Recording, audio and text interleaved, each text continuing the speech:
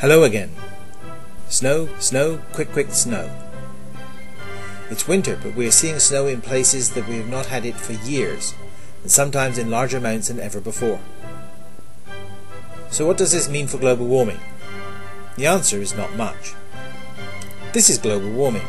He's my jackass. And he rather likes the snow. I call him GW for short. I can't think why. I named him global warming in honor of all those idiots who make movies of snowfalls and post them on YouTube. They then claim that the snow proves that global warming is bunk. They call their videos things like Where is the global warming I was promised? Global warming? What global warming? And global warming is over. Then for good measure they make some jab at poor old Al Gore and show some silly picture like this.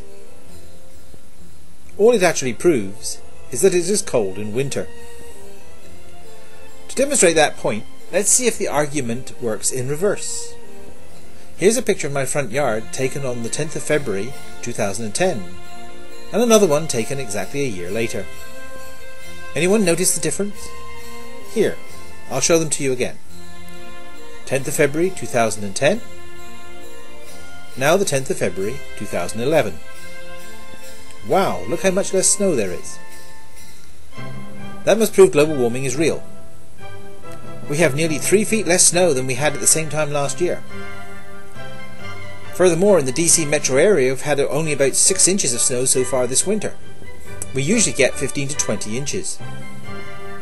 So we can, by the same criterion, safely say that global warming is back, and with a vengeance.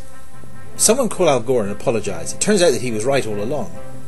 So global warming is real. I just proved it by the same argument that those idiots deny global warming.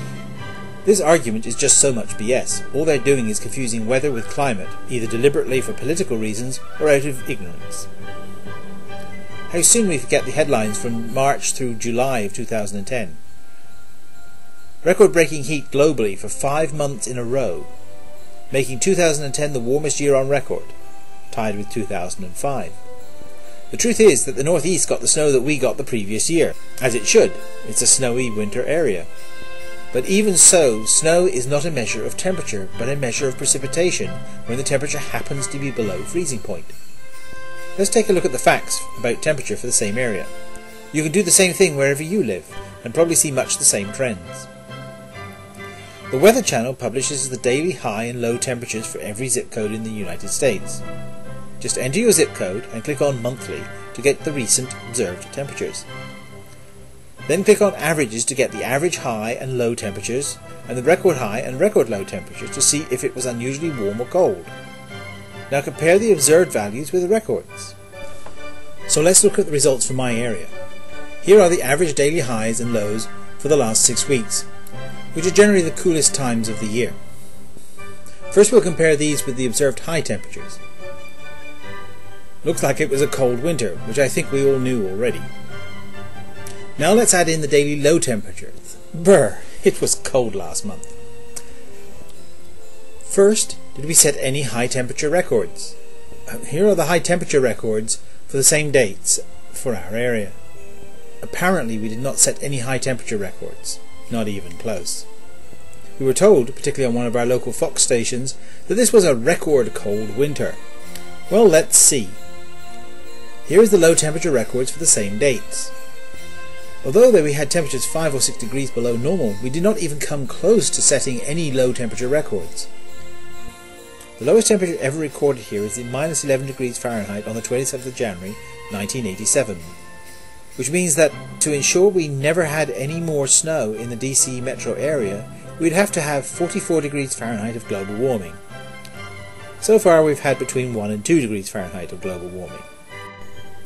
Thus we conclude that global warming, my ass, will be very happy before he will be seeing snow for the rest of his life. So the next time you see one of those silly videos of pretty snow scenes purporting to disprove global warming, you know that they are completely deluded or they are trying to hoodwink you.